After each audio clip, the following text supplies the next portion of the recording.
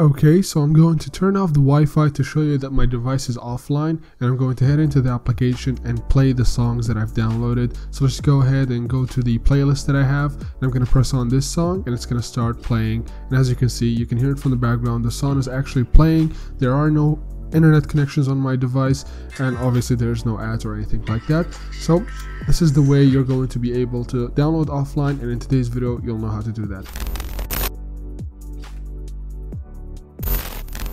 Hi everyone, I hope you're all doing well. So in today's video, I'm going to show you how to download songs or any music offline to your device for free. This works on Android and iOS devices, so make sure to stay tuned and I'll show you how to do this. So the first thing you need to do is going to go to the Play Store or App Store and search for an application called Musi Pro. Now the link for this application will be in the description box, so you can either search for it on the Play Store or App Store or just open the link from the description. It will take you straight to the application and the application is free. You're going to go and press on get or press on install and you're going to wait for the application to be downloaded and I'll show you what the next steps are. It's completely straightforward and everything in this video will be shown to you so all you need to do is just follow the steps and you'll know how to do this. By the way, I have a surprise for you in the end of this video, so make sure to stick around so you know what the surprise is and I'm sure you'll like it. So we're waiting for the application to be downloaded. As long as uh, your internet connection is fast, this process shouldn't take that long. So while the application is downloading, it's actually downloaded now. I'm going to go ahead and open the application and I'll show you how to actually download the songs on this application. So at first, press on continue. This will only be asked for the first time that you run this application. And then it might show you an ad or two. Just wait for the ad to be complete and then press on continue.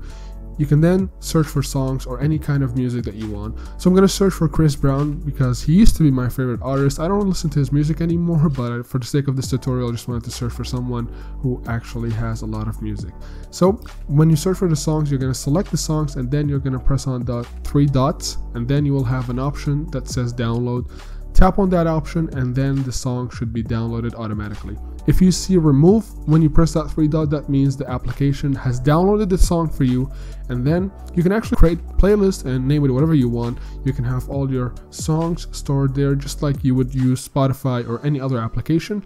So as you can see, I'm gonna add this song to this playlist because I've downloaded it already. You don't need to do this, but you can make your uh, listening to music process much smoother. So if we go to the home home section of the application, you will see that song. And if you see remove that means it's downloaded. And as you can see you can listen to it as long as you want. So i'm just going to download this song as well. As you can see i can see the remove option. That means this song is downloaded as well.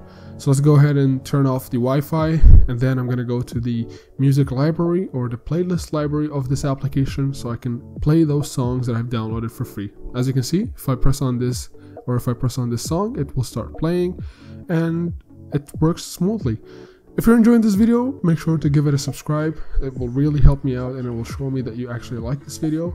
And don't forget to like as well. So as you can see, the song is now playing. I can scroll through the uh, playlist or scroll through these songs as much as I want. And uh, that's it. So for the surprise that I mentioned, now if you're enjoying the video and if you uh, enjoy the content that I make, you make sure to comment below so you can have an opportunity of having your comment shown on the next video that I post, just like these guys these guys commented on my previous video. If you do the same thing on this video, you'll have your comment shown on the next one.